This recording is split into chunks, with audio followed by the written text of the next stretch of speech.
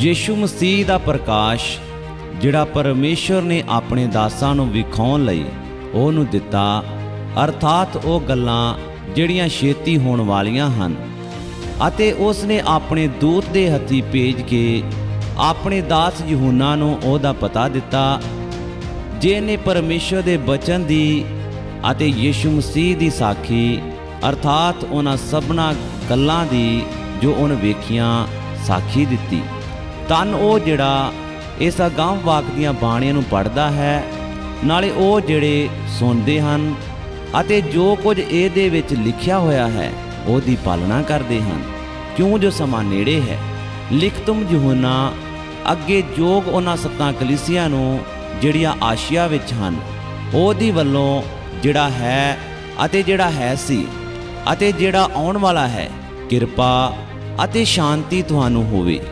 ਨਾਲੇ ਉਹਨਾਂ ਸੱਤਾਂ ਆਤਮਾਆਂ ਦੀ ਵੱਲੋਂ ਜਿਹੜੇ ਉਹਦੇ ਸਿੰਘਾਸਨ ਦੇ ਅੱਗੇ ਹਨ। ਨਾਲੇ ਯੀਸ਼ੂ ਮਸੀਹ ਦੀ ਵੱਲੋਂ ਜਿਹੜਾ ਸੱਚਾ ਗਵਾਹ ਅਤੇ ਮੁਰਦਿਆਂ ਵਿੱਚੋਂ ਜੇਠਾ ਅਤੇ ਧਰਤੀ ਦੇ ਰਾਜਿਆਂ ਦਾ ਹਾਕਮ ਹੈ।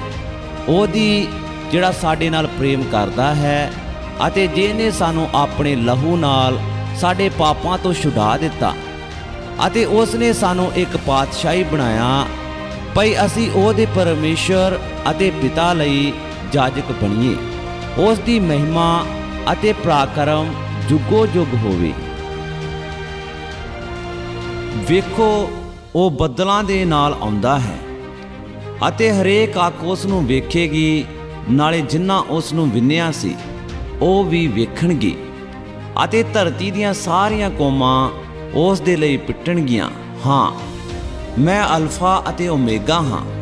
ਇਹ ਆਖਣਾ ਪ੍ਰਭੂ ਪਰਮੇਸ਼ਰ ਦਾ ਹੈ। ਅਰਥਾਤ ਉਹ ਜਿਹੜਾ ਹੈ ਅਤੇ ਜਿਹੜਾ ਹੈ ਸੀ ਅਤੇ ਜਿਹੜਾ ਆਉਣ ਵਾਲਾ ਹੈ, ਜੋ ਸਰਵ ਸ਼ਕਤੀਮਾਨ ਹੈ। ਮੈਂ ਯਹੂਨਾ, ਜੋ ਤੁਹਾਡਾ ਭਰਾ ਅਤੇ ਤੁਹਾਡੇ ਨਾਲ ਰਲ ਕੇ ਉਸ ਵਿਪਤਾ ਅਤੇ ਰਾਜ ਅਤੇ ਸਬਰ ਵਿੱਚ ਜੋ ਯੀਸ਼ੂ ਵਿੱਚ ਹੈ, ਸਾਂਝੀ ਹਾਂ। ਪਰਮੇਸ਼ਰ ਦੇ ਬਚਨ ਅਤੇ ਯੀਸ਼ੂ ਦੀ ਸਾਖੀ ਦੇ ਕਾਰਨ ਉਸ ਟਾਪੂ ਵਿੱਚ ਸਾਂ ਜਿਹੜਾ ਪਤਮਸ ਕਰਕੇ ਸਦਾਉਂਦਾ ਹੈ। ਮੈਂ ਪ੍ਰਭੂ ਦੇ ਦਿਨ ਆਤਮਾ ਵਿੱਚ ਆਇਆ ਅਤੇ ਮੈਂ ਆਪਣੇ ਪਿਛੇ ਤੁਰੀ ਜਹੀ ਦੀ ਇੱਕ ਵੱਡੀ ਆਵਾਜ਼ ਇਹ ਆਖਦੇ ਸੁਣੀ, ਭਈ ਜੋ ਕੁਝ ਤੂੰ ਵੇਖਦਾ ਹੈ, ਸੋ ਇੱਕ ਪੋਥੀ ਵਿੱਚ ਲਿਖ ਲੈ ਅਤੇ ਸੱਤਾ ਕਲੀਸਿਆਂ ਨੂੰ ਕੱਲ ਦੇ, ਅਰਥਾਤ ਅਫਸਸ ਨੂੰ ਸਮਰੂਨੇ ਨੂੰ ਪਰਗਮਮ ਨੂੰ ਤੁਅਤੀਰੇ ਨੂੰ, ਸਰਾਦੀਸ ਨੂੰ, ਫਿਲਦਫੀਏ ਨੂੰ ਅਤੇ ਲੋਦੀਕੀਏ ਨੂੰ। ਅਤੇ ਮੈਂ ਉਸ ਆਵਾਜ਼ ਨੂੰ, ਜਿਹੜੀ ਮੇਰੇ ਨਾਲ ਗੱਲਾਂ ਕਰਦੀ ਸੀ, ਵੇਖਣ ਲਈ ਭਿਮਿਆ ਅਤੇ ਜਾਂ ਭਿਮਿਆ ਤਾਂ ਸੋਨੇ ਦੇ ਸੱਤ ਸਮਾਦਾਨ ਵੇਖੇ ਅਤੇ ਉਹਨਾਂ ਸਮਾਦਾਨਾਂ ਦੇ ਵਿਚਕਾਰ ਮਨੁੱਖ ਦੇ ਪੁੱਤਰ ਦੀ ਨਿਆਈ ਕੋਈ ਵੇਖਿਆ।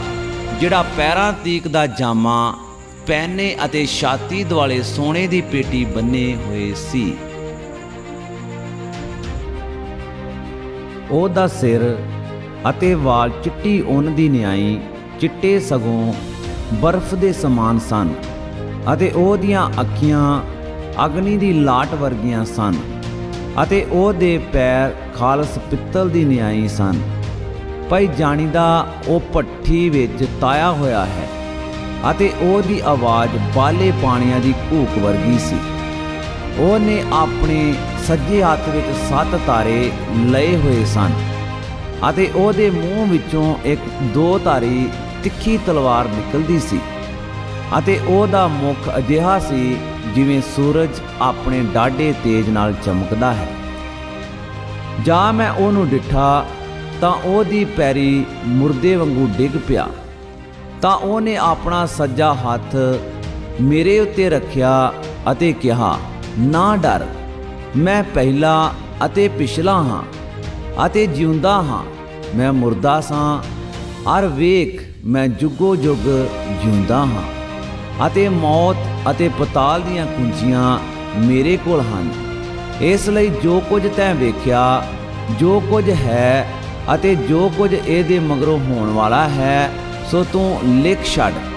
ਅਰਥਾਤ ਉਹਨਾਂ ਸੱਤਾਂ ਤਾਰਿਆਂ ਦਾ ਭੇਤ, ਜਿਹੜੇ ਤੈ ਮੇਰੇ ਸੱਜੇ ਹੱਥ ਉੱਤੇ ਡਿੱਠੇ ਸਨ।